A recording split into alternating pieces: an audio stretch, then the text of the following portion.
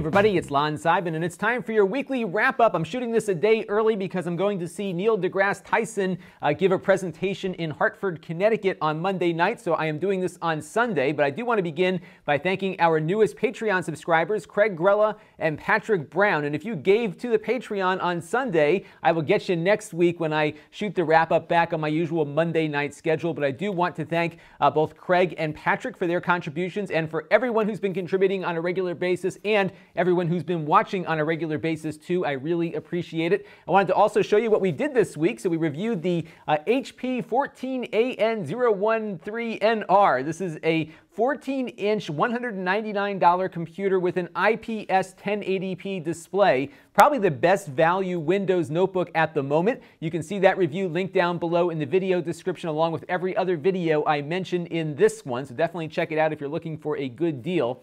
We also looked at the Vernee Apollo Lite. This is a uh, $200 or thereabouts smartphone that uh, GearBest had provided to the channel. And I do want to give you some important errata on that. I'm going to be putting this uh, very prominently on that review because Chris R. wrote in and said that the phone doesn't work with LTE networks in the United States, only on 2G networks. And it turns out uh, that is definitely the case. It looks like it supports one LTE band on T-Mobile. I'm about to get a uh, prepaid subscription from a company that does run their traffic over T-Mobile, so we'll be able to look at this more closely in the future. But Definitely be aware of this if you are looking at buying this smartphone. You might have some 4G compatibility issues here in the US, and I wanted to make sure you all saw that. And we also got to look at Channels 2.0 for the Apple TV. This is an app that allows you to watch live television through the use of an HDHomeRun digital tuner on your Apple TV. The fourth generation version with all the app capabilities on it really works quite well. This is a upgrade from a prior version that they had come up with.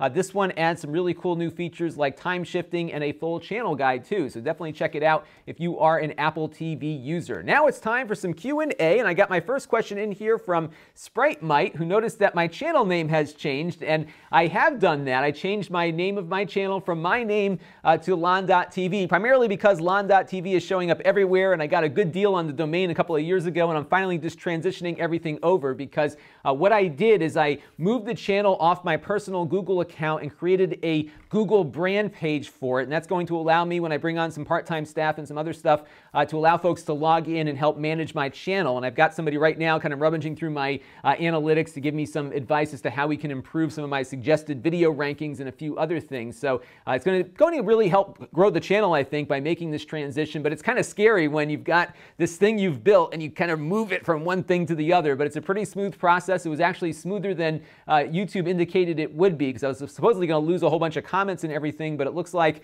uh, everything just kind of went right over. So uh, no problems at all with that transition, but you will see some changes to the channel name uh, moving forward. But I think it's easier to remember lon.tv than it is to remember my name. So hopefully that will also help grow the channel just by that simple name change. But a lot of you noticed that right away. Uh, I can't get anything by you all, which is great. And via Twitter, JR wrote in asking if Gmail was better than Yahoo Mail uh, insofar as hacking is concerned. And the obvious answer to that is yes, Gmail is much better, primarily because we know the Yahoo database has been uh, exploited by a hacking group and every single username and password from like 2012 is just out there right now for the taking. And I would strongly suggest if you have used your Yahoo uh, email address and uh, password on any other service, just pause the video right now, go to all of those services and change your password because what's going to happen over the next couple of years is that uh, this database is going to continue to proliferate around the internet and people are going to be running scripts and seeing how many accounts they can get into because people often use the same username and password on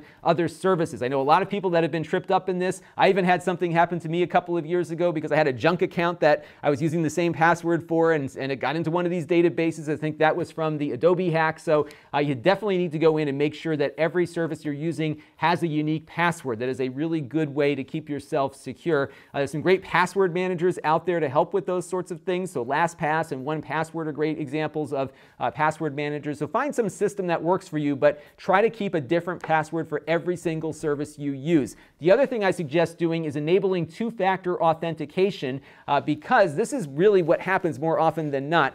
Uh, in this case, of course, we've got the DNC hack going on right now. We've got the Podesta emails floating around. We've had other hacks in the past, like from Sony. And almost every single time it involves uh, just a piece of phishing email uh, being delivered to somebody that looks legitimate. They click on the link and it looks like a login. They log into their account and basically hand their passwords over to the hackers. And that's how they get in uh, to the first stage of their hack. And in the case of these political scandals right now, uh, all they needed to do is get into the email account and they can uh, basically do whatever they want. But at the end of day, there wasn't some exploit that was executed here. It was basic social engineering, and you can really protect yourself by setting up two-factor authentication. I did a video on this as, so, as to how to get it set up on Google, which you can see uh, down below in the master playlist. But basically what happens is, is that after you log in with your password, uh, the Google website will then challenge you for a number that is generated on an app that you run on your phone. So uh, you give them that number. There's a synchronization that goes on between your phone's clock and the the clock at the Google server. The number can only exist for a certain length of time,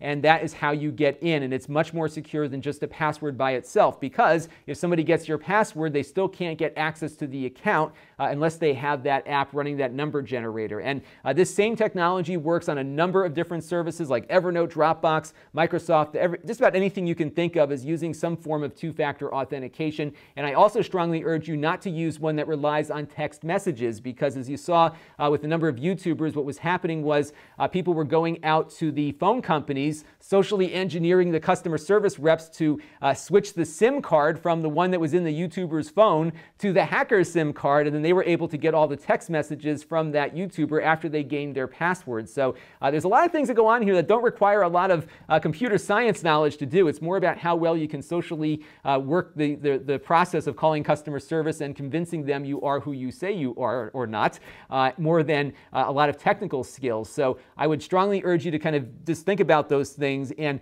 uh, get yourself a good personal security policy because we're in an era now where it's very easy to get access to your account. Even if you're not a celebrity, uh, there's still a lot of value to what you have inside your email right now. A great book I would suggest you take a look at is called Ghost in the Wire, and it's uh, written by uh, Kevin Mitnick, who was one of the first uh, early celebrity type hackers, I guess. He's now in the white hat hacking business, helping companies secure themselves. But a lot of what he did in his early days was uh, just convincing people over the phone that he was authorized to have certain information, which got him logged into systems, and he kind of worked his way uh, into them that way. He was very, uh, very good programmer and technical uh, person, but he really had a very good knack for getting people to trust him. And off, more often than not, that is how these hacks occur, is just through uh, a fault of people trusting someone they really should not have been trusting.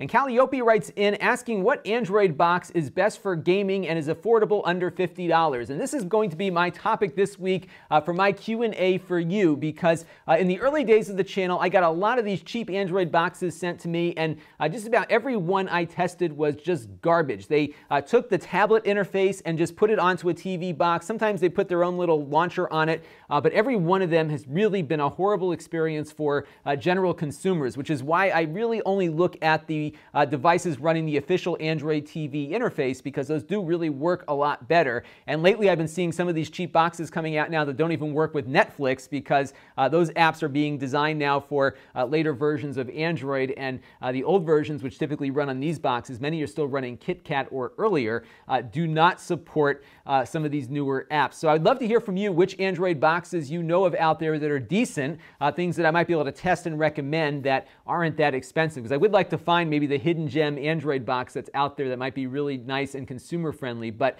uh, so far, after looking at a lot of these things, I really try to shy away from them because uh, the Android TV interface, the official one at least, uh, is really a much better consumer experience than I'm seeing on a lot of these cheap boxes. And I've got a giveaway to announce at lon.tv slash enter. We're going to give away the Blue Life 1 X2 that I reviewed a couple of weeks ago. Uh, this does work on US carriers, but not Sprint or Verizon. So if you're AT&T or T-Mobile, uh, this will work on your uh, particular platform there. Unfortunately, this is going to be a US only one because I have to ship this out myself, but I will be asking a number of the uh, folks who have contacted the channel with products to review over the last couple of years to see if they can uh, ship things overseas. We did do that with the NVIDIA Shield, so I am not forgetting about uh, all the international viewers out there. We will do some more giveaways in the future, but for things that I get in here that I'm getting rid of, I got to do US only at the moment just due to the cost of freight. So uh, that is what we're giving away this week, lon.tv slash enter, and you can have a shot to win. We're going to close the registration on Sunday, next Sunday at midnight. So definitely get your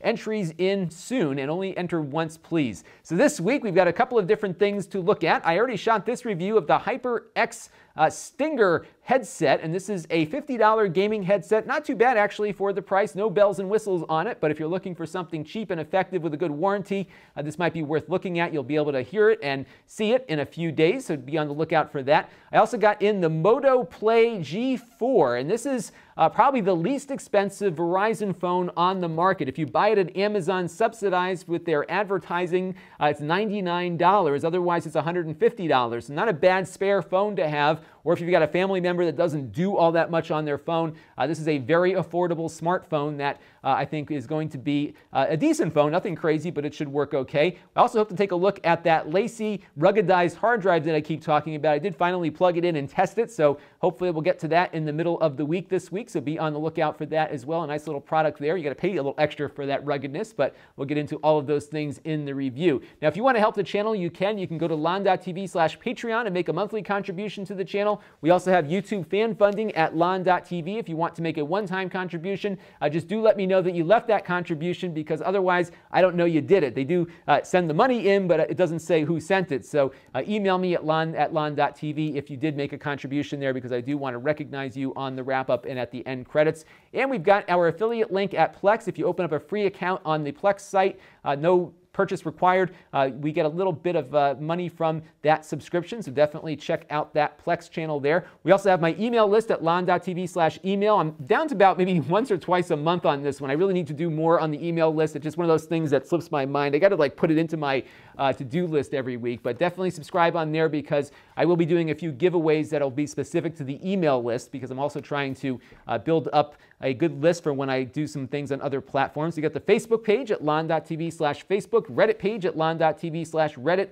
and we've got the lon.tv store where I sell a lot of the items that I bought and I'm now reselling. We're going to have uh, two laptops up there by the time you see that. Uh, the HP we just reviewed as well as an Asus laptop uh, which has been upgraded to 8 gigs of RAM as well. Uh, both of those will be up at a pretty good price on the store, so definitely get in on that. And that's going to do it for this week's weekly wrap up. As always, please keep those questions and comments and suggestions coming, and I will see you all next week. This is Lon Seidman. Thanks for watching. This channel is brought to you by my Patreon supporters, including gold level supporter Eric. If you want to help the channel, you can by contributing as little as a dollar a month.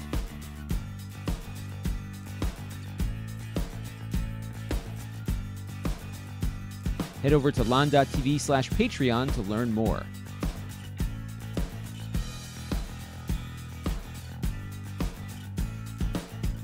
And don't forget to subscribe. Visit lon.tv slash S.